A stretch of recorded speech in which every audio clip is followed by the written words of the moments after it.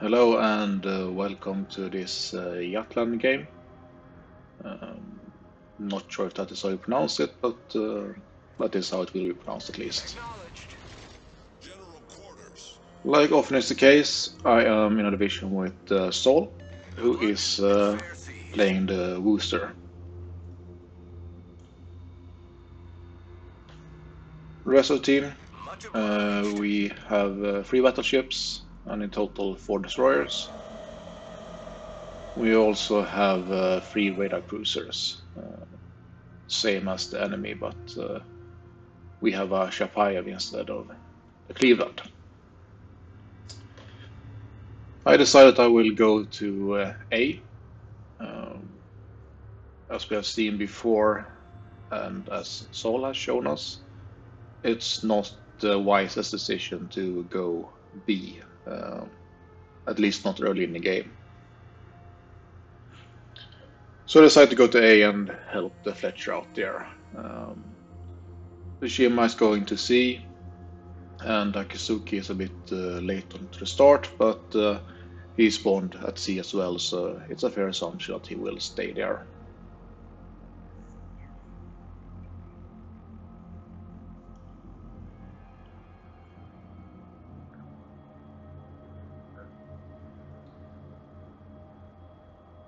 So our team uh, is splitting up between A and C, and for now ignoring B entirely.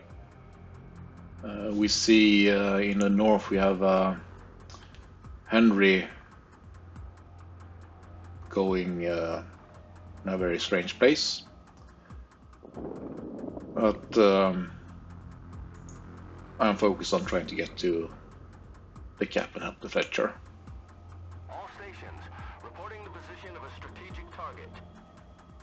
Seen enemy Worcester. Uh, and after a nerf, of course, he only has 9 kilometer radar, but uh, he's already within range, so I start turning away to get out. Uh, we also see uh, Yugumo. And there is also the Kirikase.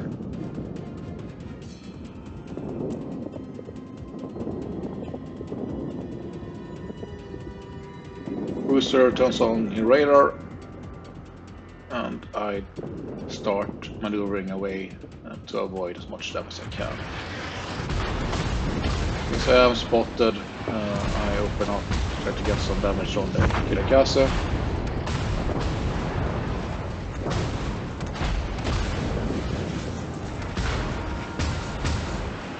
But it's Sol who gets the kill.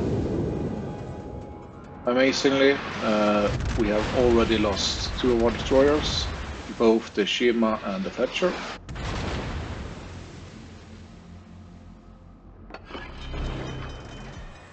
So really not the best start uh, from our DDs.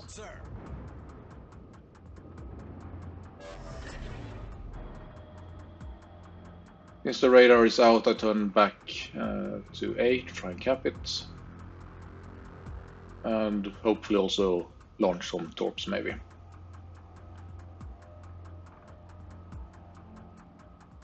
I need intelligence data.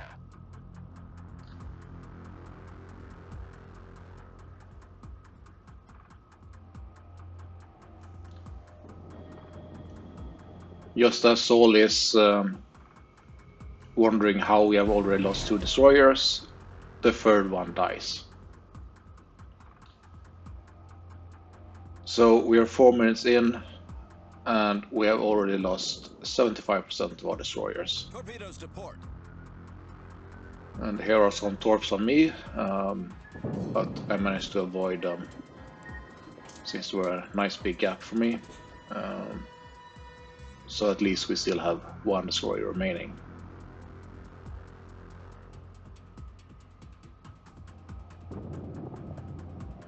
There's no cap, uh, DD in the cap. Um, not too worried about right now. Instead, I'm trying to line up some torps on the Republic.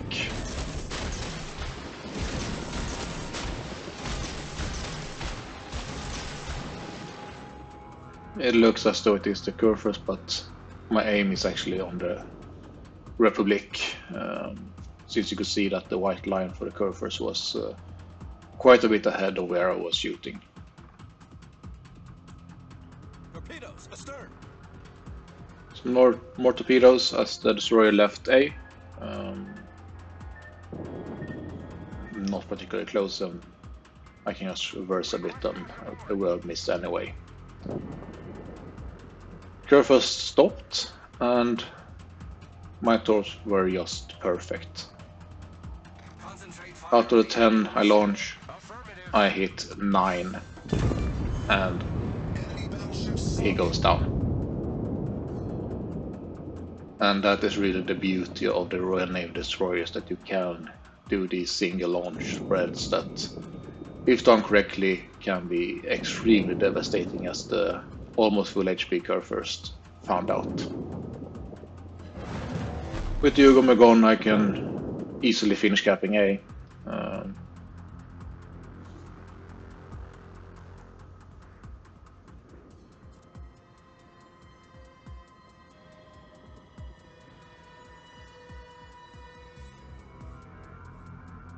And while I could try to stay here and maybe um, chase the ships here, there are three cruisers, one of which um, is a Worcester. So instead, I decide to move north of the island and then uh, towards B. We have managed to get a second destroyer kill, so the enemy team is down to two as well.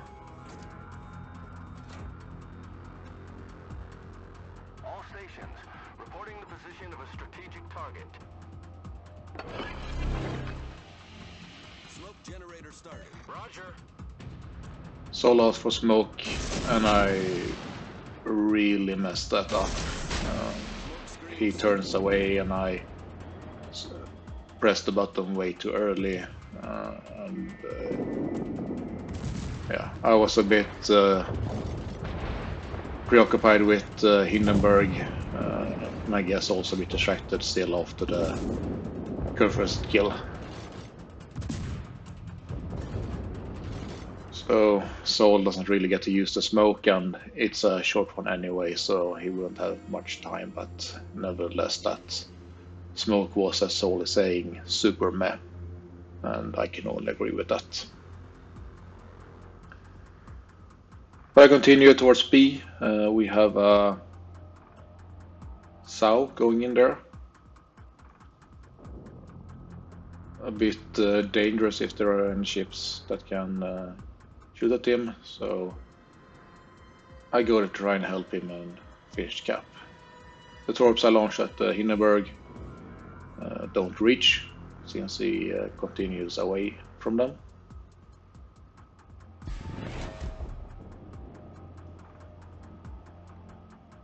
But he uh, Is forced. For away from the ships we have here at least.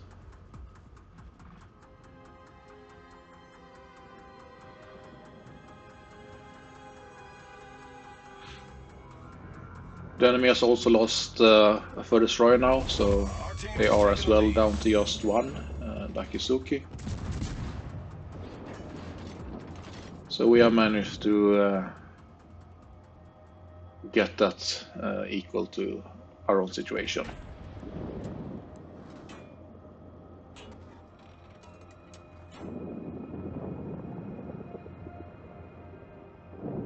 Sao opens up on the Hindenburg even though he's camping, but since the Hindenburg is shooting at something else, it's safe to do without risking uh, a reset.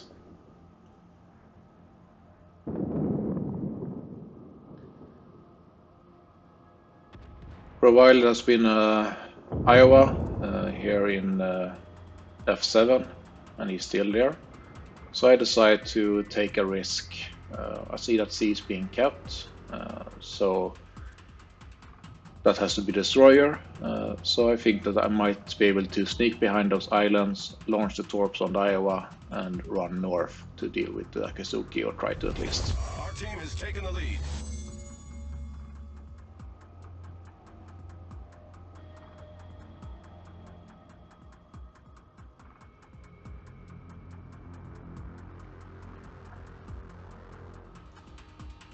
Iowa is there. Um, start moving forward, so I launch the torps. Unfortunately, there is also a Cleveland. I smoke up to try and get away. Um, unfortunately, Cleveland has radar ready. And I can try to uh, weave and turn, uh, but the Cleveland is very close. And uh, I gambled, and unfortunately, I failed. I get some torpedo hits on Iowa and he goes down. Unfortunately, between him and the Cleveland, I die as well. So now it's up to Sol to bring this home. I did end at uh, 136k damage um, and uh, got uh, 13 torpedo hits, uh, 9 of which was on the Kurfürst and then 4 on the Iowa. And especially um, that Kurfürst kill was very, very satisfying. Even though I aimed at the Republic, um, we will have to take it for what it is. A very nice kill.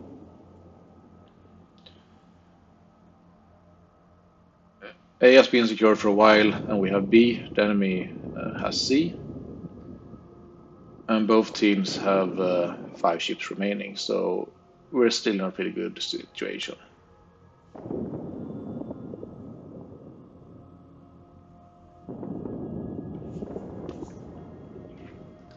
The Cleveland has taken some heat, um, and we also see that the Akizuki is uh, smoking up just uh, south of uh, B.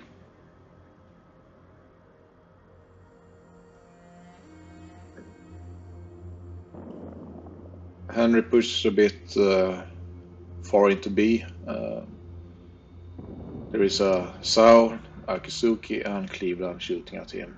Um, and he realizes this and tries to turn away, but there are the torps from the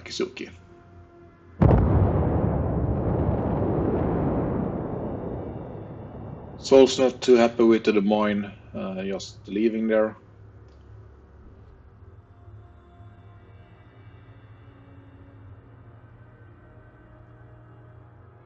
But he doesn't seem too concerned about that decision.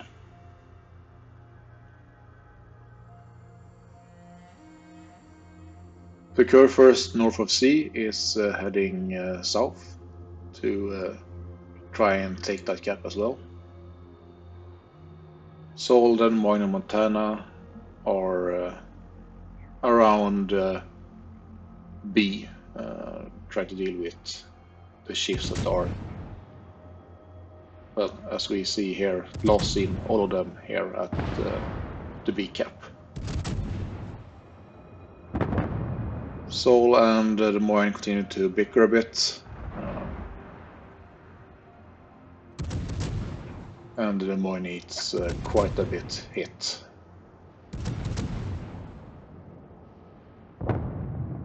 And is forced to once again turn away. Sol is slowly cutting away a bit, trying to spam the cruisers. The Montana is also pushing in um, a bit too aggressively because the Hindenburg is pushing in from the south and he does have torpedoes. The Kurfürst can now quite easily cap C. And as the Montana uh, kills the Cleveland, uh, both teams are now down to uh, four ships, but we are getting the third and final cap as well. The Des Moines and Montana are trying to take out the Hindenburg, who is uh, rushing the Montana to try and take him out. Um, if nothing else, to take him out with him.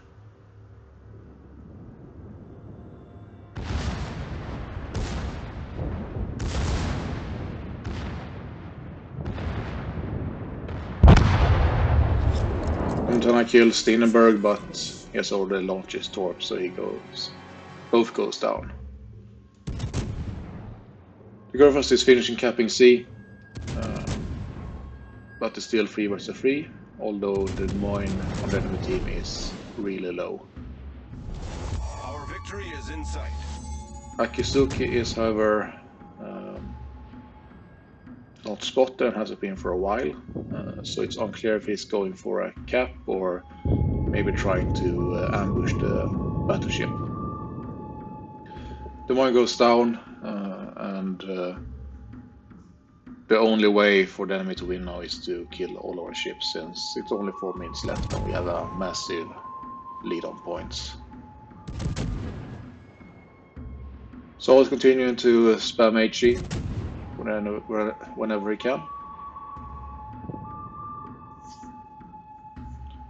And with the Kurfürst pushing uh, in the direction of the south, um, it's a fairly uh, good situation for us.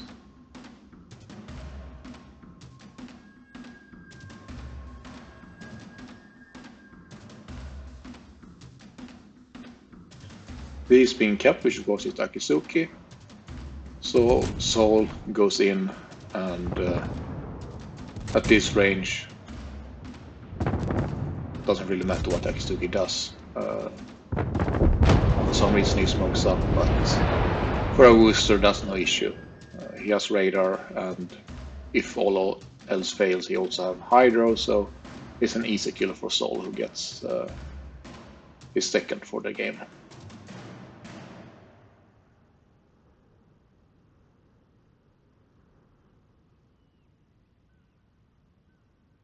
Team tries to get uh, Southwell before the points tick up to a thousand, but uh, he survives. Uh, but uh, we still get the win um, in the end.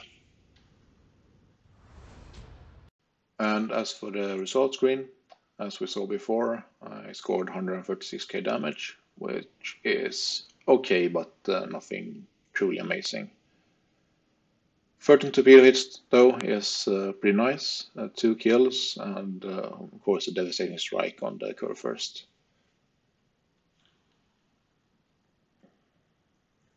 End up uh, third on the team. Uh, and considering I died pretty early on, uh, that's pretty good. I did of course also get one solar cap and one season cap, so that also helps a bit. The Montana also did well. Um, I scored second, but on top we, for once, have Sol uh, with uh, almost 2.3k base XP and two kills. Um, so even though he didn't really have to carry me, at least he get to show that he can do well uh, and uh, up top of the team. As you can see, 128k out of the 136 came from the torpedoes, a few thousand from uh, the guns, and uh, just a tiny bit of flooding. 97k on the Kurfürst, all torpedo damage, of course, and then 33 on the Iowa. Uh, and then some potshots at uh, Kirikasa, and Hindenburg. Was a bit unfortunate that uh, the Cleveland was there when I killed Iowa, but uh, I gambled, and this time it didn't really pay off. Uh, I did get the kill, but uh, I also died in the process. Since I am slowly grinding through the Jutland to the daring, uh, I have some camo bonus uh, and flag bonus, so a decent amount of XP um, and consequently commander XP, but uh, nothing extreme there either. But a very nice devastating strike on the Kurfürst and uh, a bit of help from Sol, and it was in the end uh, a good win and uh, considering I died, uh, I guess thank you, Sol, for helping me get this win. Otherwise, it would have been less fun to get the kills I did uh, and then lose. So a good game from both of us. Hope you enjoyed.